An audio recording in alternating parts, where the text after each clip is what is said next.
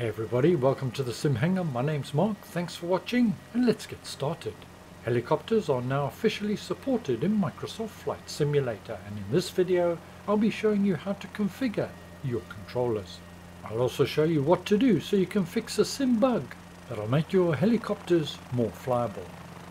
Aerosoft have recently released Landmarks North Sea featuring hundreds of ships, tankers, oil rigs and other platforms, bringing this part of the world to life. Full review coming soon. Sim Update 11 includes a number of bespoke helicopter controls, and we'll be configuring those. If you're looking for configuration guides, don't forget to subscribe for more like this. Flying helicopters is both enjoyable and frustrating in equal measure, but they're a great way to take in all the scenery. With all that out the way, let's get on and make your flight sim experience a more enjoyable one. Our first step is to check on the assistance options. From the options menu, we're going for assistance options. Open that and in the sub menu on the left hand side, we're going to select piloting and we're going to scroll down towards the bottom. And here we'll find two assists which are recommended to be on if you're new to helicopter flying. It's assisted tail rotor and assisted cyclic. Make sure they're both on. This makes flying and managing the helicopter a little bit easier initially until you feel more confident in flying helicopters. When Sim Update 11 was released, if you're like me, you jumped into a helicopter and found that you couldn't fly it. It was unmanageable. That's because there's a bug in the sim. For many, it's defaulting to the wrong flight model. Go to General Options, and from the left-hand menu, we want to choose Flight Model.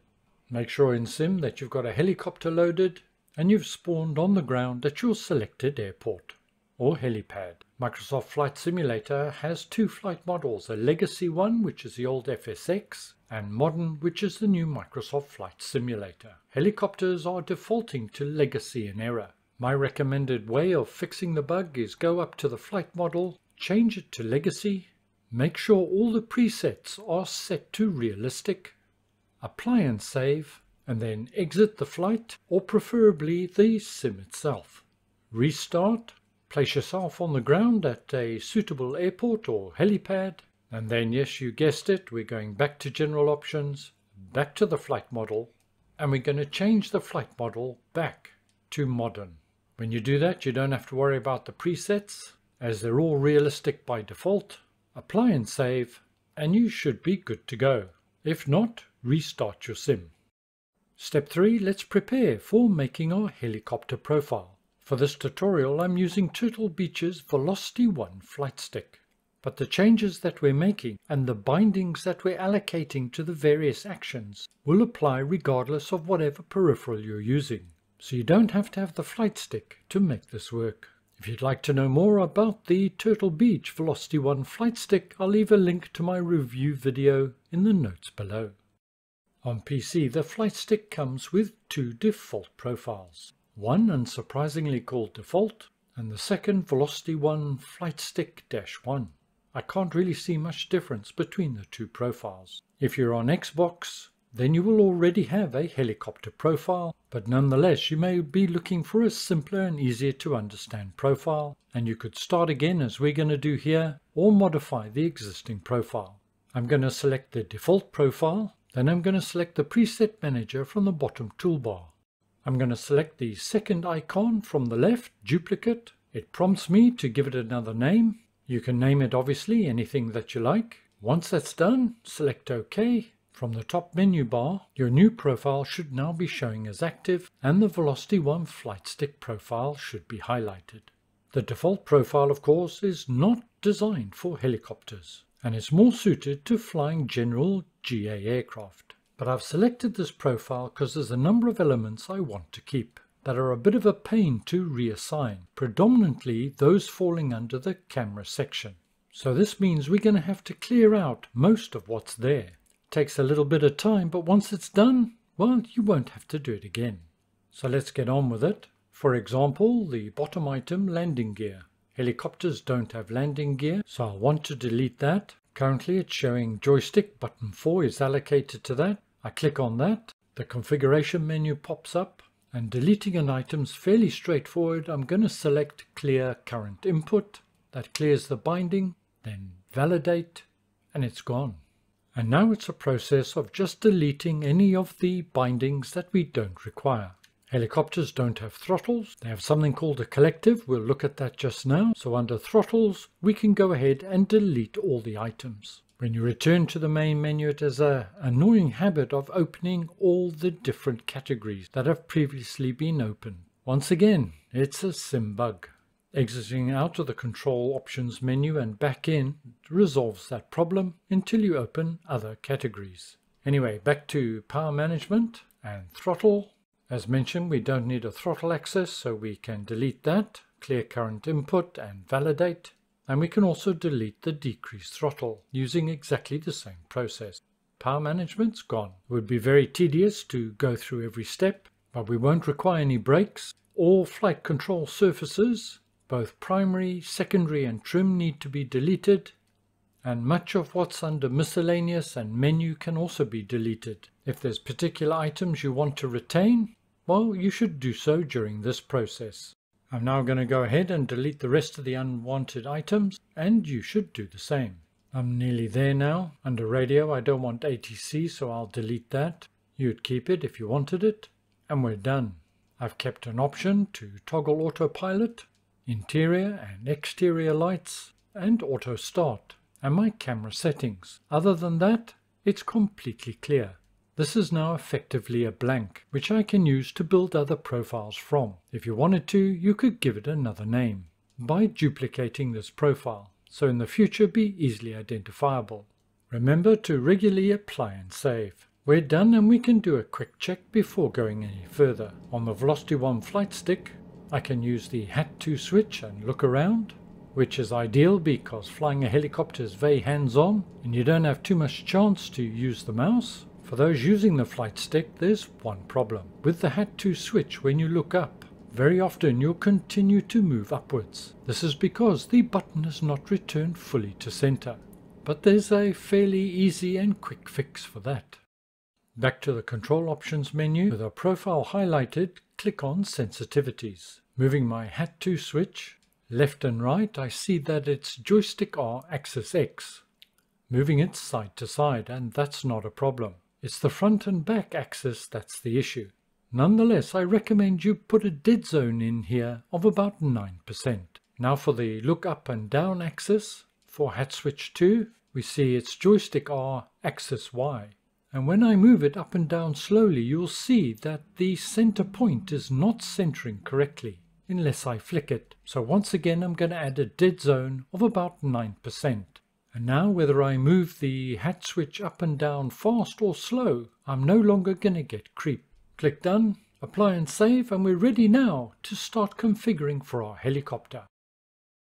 Before we get into our new configuration, a few explanations, as helicopter terminology is different to that used in general aviation. A helicopter has a collective, normally on the pilot's left-hand side, and in simplistic terms, this is your throttle. It governs the power fed to the main rotors, and the pilot also has effectively a joystick which is referred to as the cyclic, and this carries out very much the same function as ailerons and elevator in an aircraft, allowing for pitch up and down and banking left or right. In addition to the main rotor blades, helicopters also have a tail rotor, effectively a propeller in the tail, with the main rotor blade spinning in one direction, creating torque the body of the helicopter would naturally want to spin in the opposite direction, and the tail rotor helps to some degree to combat that and provide greater stability along with both vertical and horizontal stabilizers you can see above and in front of the tail rotor. And the final point I want to raise is the ideal viewing angle whilst flying a helicopter, and I suggest it's something similar to this. Most flying of a helicopter is done by looking outside but I have view in the lower left of my vertical speed, above that my altitude, my horizon, and very importantly my speed, as well as the power being supplied to the rotors by the collective. If you want to know more details and correct terminology regarding a helicopter, there's plenty of information out there on YouTube. Mine is a very basic overview, so we know the correct terminology so we can find what we're looking for in our configuration guide. Okay, on to step 4, where we'll configure it for use with the helicopter. I kept very little of the default profile as you can see. I've kept autopilot, allocated that to joystick button 6, as well as the lights to button 5 on the VelocityOne flight stick. Under the instruments and systems and engine instruments, I've kept engine auto start and that's joystick button 1 and I've kept all the camera assignments. Other than that, everything else was deleted. We're ready to go. We're going to be using search by name. Click in the box and type collective. As you do, your filter should change to all. If not, manually change it. And one of the items that comes up is collective axis, effectively our throttle. And I'm going to allocate it to this axis here. I'm going to use that as my collective or my throttle. Click in the box. I'm going to start scanning, move the joystick and validate. That axis is now my collective. You'll note the reverse axis is ticked. This means fully forward is low power and when you pull it back towards you it will be full power. This is the more correct way of doing it but I prefer the traditional method so I'm going to untick the reverse axis. Collective done. Let's move on and again search by name and I'm going to type in cyclic and I'm looking for two things here the longitudinal axis and the lateral axis. These are set separately. The longitudinal axis is when you are moving the joystick forwards and backwards. The lateral axis is when you are moving the joystick side to side. So we'll now go ahead and configure those and we'll start with the longitudinal axis. Click in the box, start scanning push my joystick forward, joystick L, axis Y, validate done. Lateral axis now, push it to the side, joystick L, axis X and validate. We can now bank left and right and pitch up and down. Back to our search by name, filter still on all, clear our previous entry, and I'm going to type in trim. And there's one very important setting I'm looking for, and that is rotor trim reset. When flying the helicopter we use a variety of trims, but we need a quick way to reset them, all back to zero if we need to for landing. There it is, rotor trim reset, and for ease of access I'm going to set this to the trigger on the joystick. Follow exactly the same process, press the trigger, it's button 18, and that's done. You of course can set trim to wherever you want, just make sure it's easy to access. We're done with that. Now back to search by name. I'm going to type in tail and I'm looking for tail rotor axis. There it is. And this is effectively my rudders, the twist axis on the joystick. When I twist it left or right. If you had rudder pedal, you'd allocate it here. Start scanning, twist the joystick, joystick L, axis Z. We're done here. This will allow me to yaw the helicopter left and right.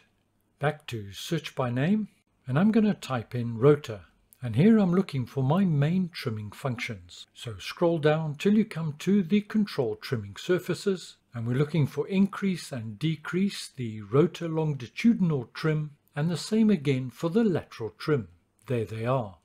These are critically important for flying a helicopter. This allows you to trim your pitch, nose up and down, and to move forward in a helicopter you need quite a lot of nose down, as well as lateral movement. You'll soon get tired if you're having to put pressure on the joystick pushing the nose forward all the time. So you use trimming to take the pressure off, so it's fairly hands-free flying when you're straight and level. This is especially important for something like the VelocityOne flight stick, which has a fair amount of tension on it. So to increase longitudinal and decrease longitudinal trim, I'm going to use buttons 17 and 16.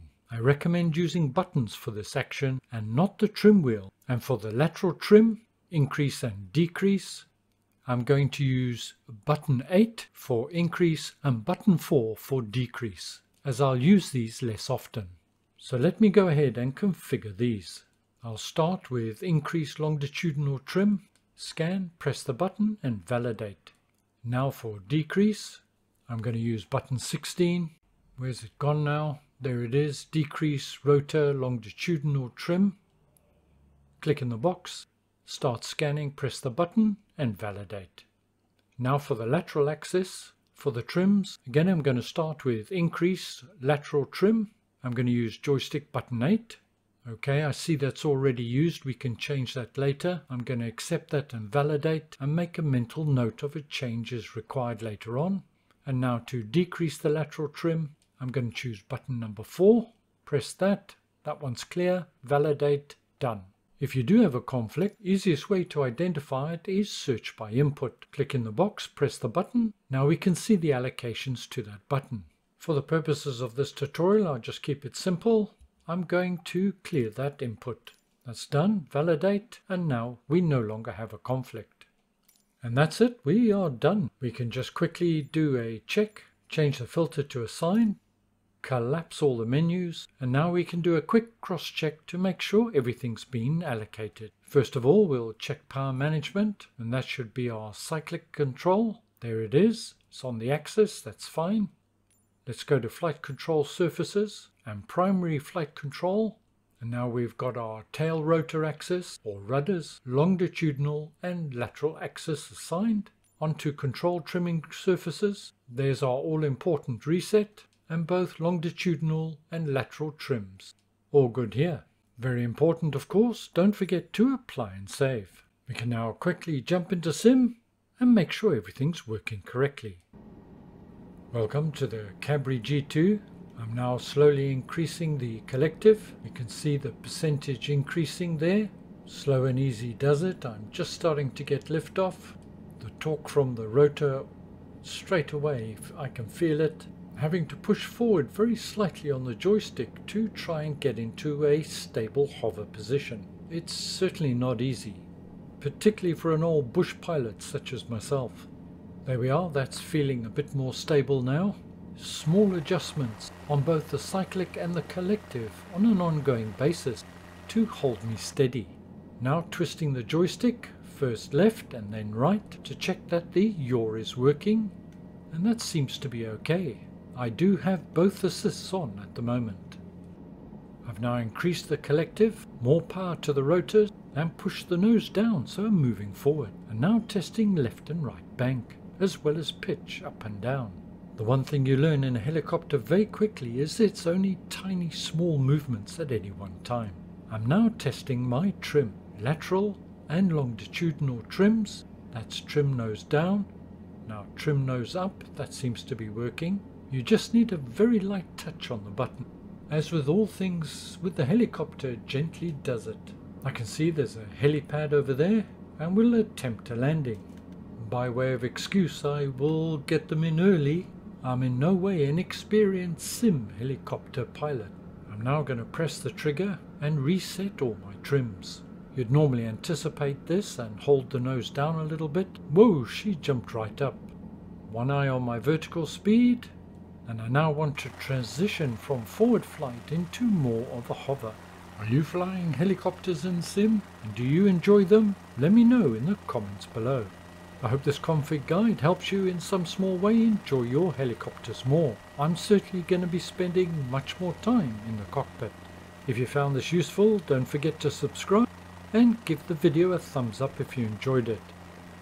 Trying to land from an external point of view is not that easy. You sort of get that feeling so close and yet so far. Constantly playing with the collective to stop me dropping out of sky. Oh, that was hard. Hey, but I'm down. Thanks everybody for watching. Take care, look after yourself. See you again soon, and bye for now.